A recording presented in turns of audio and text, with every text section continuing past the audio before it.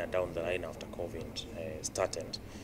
Um, and at a time when the economy is on a start and stop kind of, uh, you know, um, you know, shutting up and opening. Uh, of course, the snippet we have is through the finance bill, which is already tabled in Parliament. It's very clear the government's intention to increase and introduce new taxes, including on very essential uh, goods and services, uh, things like bread, um, pharmaceuticals. Uh, we think it's, the wrong thing to do uh, at such a time. Uh, you will recall last year government uh, introduced minimum tax, which has been suspended by the High Court for the time being.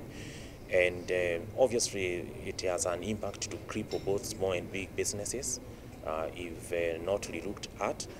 And um, our expectation is that government should now be concentrating actually um, in vaccinating, the citizens uh, with a view to get as uh, much uh, people vaccinated as possible. Um, that's the only way that uh, we will be able to reopen our economy in a sustainable manner. Now, looking at the estimates that have been tabled in Parliament, it's very clear the government is focused more on infrastructure projects, perhaps uh, you know to secure the legacy, which is the final leg of the current administration, and therefore uh, it looks like the government is still keen to implement uh, big infrastructural projects.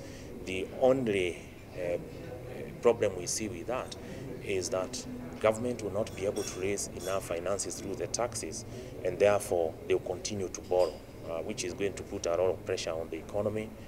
Uh, you know, um, as it is. So our view would have been to see more of a stimulus package uh, for purposes of uh, assisting uh, uh, businesses uh, to recover, for them to create employment.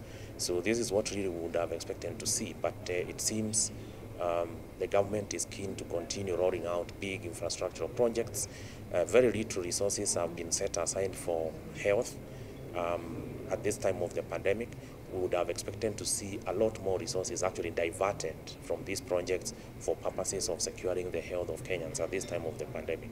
This is not exactly what we have seen from the estimates tabled in Parliament and from what is intended in the Finance Bill 2021.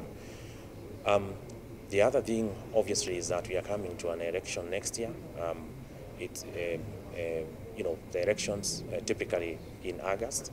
So um, that process also takes a lot of resources, a lot of money, and therefore um, I, I, think there is need to plan well in advance uh, in order to uh, not to put the country in, in, in, a mode where we will not be able to finance those very important processes. Uh, for example, bread has been zero rated. Uh, previous years it was exempt it is better than standard rating. When you standard rate, it means that bread will now be subject to VAT at 16%. And obviously that 16% goes straight to the consumer. So it's 16% more to pay for the bread.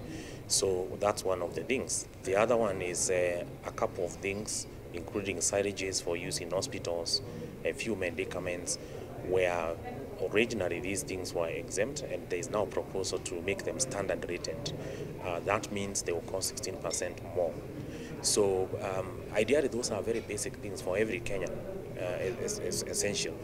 And of course, um, widening the tax bracket uh, by introducing digital taxes, minimum tax, was was was well intended initially, uh, but the application of the same generally to everyone doesn't make sense. Now, there is the issue of export and services, um, where we have youngsters now investing in technology and obviously looking to export those services. By making them exempt, it means that they are slightly more expensive than if uh, zero rated. So again, uh, government seems to be targeting that as well. Uh, it's not going to augur very well, especially uh, where government is uh, intending to roll out there's a lot of money set aside for the Konza city.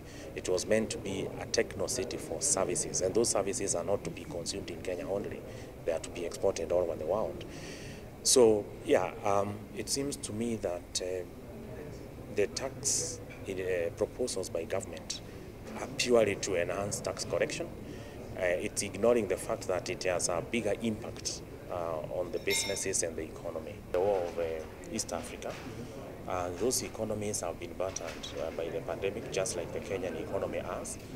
Uh, but um, due to what President Magufuli did, the late President Magufuli did in Tanzania, the economy has actually really improved over the last four or five years. They've done very well. We hope, um, in my view, I think that um, it's an economy to watch. Uh, they seem to have done things right. They seem to have even uh, rolled out uh, big infrastructural projects and completed ahead of Kenya uh, in some of the space.